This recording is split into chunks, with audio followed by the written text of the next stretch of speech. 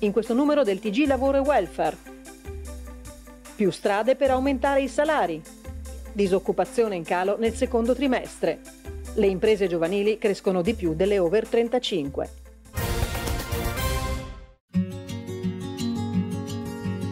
Un caro saluto a tutte e a tutti. Oggi vogliamo parlare di legge di bilancio. Il percorso nei fatti è già iniziato, anche se il tempo necessario scadrà alla fine dell'anno. Sappiamo qual è la complessità dell'iter parlamentare. Intanto ci siamo ormai resi conto tutti che per una serie di circostanze le risorse che verranno messe a disposizione, lo ha detto con chiarezza il ministro Giorgetti, saranno abbastanza risicate. Questo comporta il fatto che una parte significativa delle promesse elettorali non potrà essere mantenuta.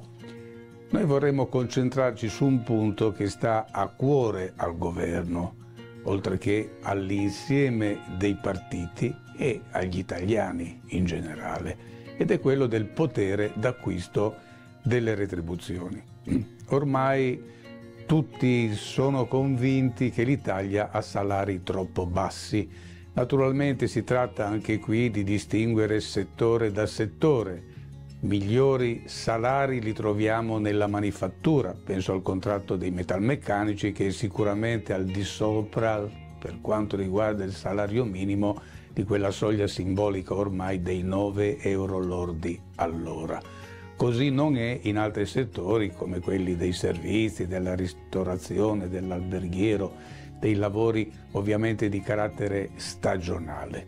Quindi abbiamo anche qui delle diversità. Come intervenire? Intanto io credo che il primo punto sia quello di dare più forza alla contrattazione che in Italia copre la gran parte dei lavoratori, ben al di sopra della media stabilita dall'Unione Europea dell'80%. Vuol dire ad esempio legare gli incentivi fiscali ai contratti che si rinnovano alla scadenza naturale, perché è evidente che un contratto di durata triennale se viene rinnovato dopo 6, 7, 8 anni fa perdere potere d'acquisto alle retribuzioni. Come legare la fiscalità alle scadenze, ad esempio detassando i nuovi aumenti contrattuali, detassando le tredicesime dei lavoratori. Il secondo punto è quello relativo al cuneo fiscale. Il governo insiste, giustamente, noi siamo d'accordo, per rinnovare, perché scade al 31 dicembre, questa detassazione che fa diminuire la pressione fiscale sulle buste paga e aumenta il netto in busta paga. Il governo però dice una cosa sbagliata.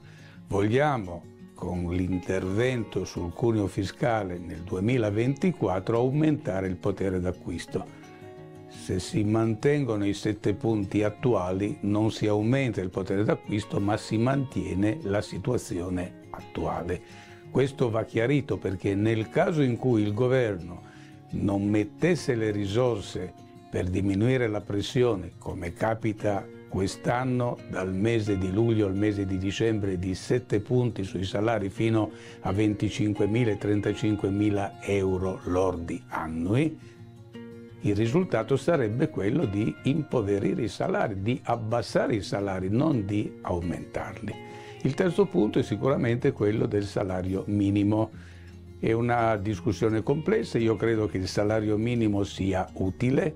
Intanto un primo passo che il governo potrebbe compiere a costo zero è quello di recepire per legge, quindi dare un minimo di legge, a tutti i contratti maggiormente rappresentativi categoria per categoria, per poi avviare un confronto con le parti sociali per fissare una soglia minima al di sotto della quale non si può avere un salario, soglia che ovviamente a seconda delle diverse situazioni potrà essere raggiunta con le necessarie gradualità e con le compatibilità di costo.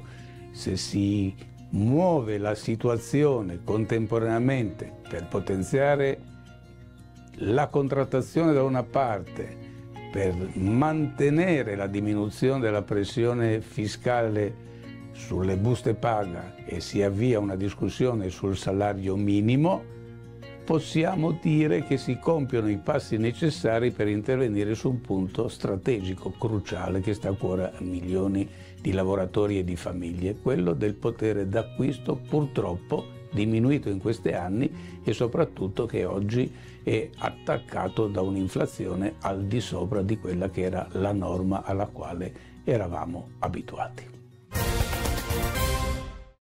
Segnali di vitalità dal mondo del lavoro in Italia. Nel secondo semestre, secondo i dati Istat, gli occupati aumentano di 129.000 unità rispetto ai tre mesi precedenti, a seguito della crescita dei dipendenti a tempo indeterminato e degli indipendenti, che ha più che compensato il calo dei dipendenti a termine. Al contempo diminuiscono sia i disoccupati, meno 64.000, sia gli inattivi di 15-64 anni. I tassi presentano una dinamica simile. Quello di occupazione sale al 61,3%, quello di disoccupazione scende al 7,6%, giù di tre decimi di punto. Nei dati provvisori del mese di luglio si registra rispetto a giugno la diminuzione degli occupati e la crescita dei disoccupati e degli inattivi. L'occupazione nel secondo trimestre 2023 cresce anche in termini tendenziali, più 395.000 unità, pari all'1,7% in un anno. Dal lato delle imprese si osserva un lieve rallentamento della crescita delle posizioni lavorative dipendenti, scendono di quasi il 2% le ore lavorate per dipendente, mentre il ricorso alla cassa integrazione si riduce a 6,7 ore ogni 1000 ore lavorate. Crescono di più e sono più fiduciose per il futuro. È il ritratto delle imprese guidate da giovani, tracciato dal Centro Studi Italia Carne, confrontando le loro aspettative di crescita per il 2023 con quelle delle aziende over 35. Emerge che la metà prevede per quest'anno di aumentare il fatturato contro il 42% delle non giovanili. E anche per il 2024 le attese di crescita restano positive per il 43% contro il 34% delle imprese sul mercato da più tempo. In aumento pure le previsioni occupazionali per il 30% delle imprese capitanate dai giovani per il 2023 contro il 23% dei colleghi più maturi. Tuttavia, in termini di export, le imprese giovanili mostrano un ritardo rispetto a quelle sul mercato da più tempo. Il 38% delle aziende under 35 esporterà nel 2023 a fronte del 45% delle non giovanili. E per il prossimo anno, pur se la presenza degli imprenditori giovani sui mercati stranieri è attesa in aumento, la distanza generazionale all'estero resterà inalterata di 7 punti percentuali. Ma al sud la presenza delle imprese under 35 sui mercati esteri è ancora più bassa. Nel 2023 esporterà solo una su quattro e nel 2024 crescerà di appena due punti percentuali.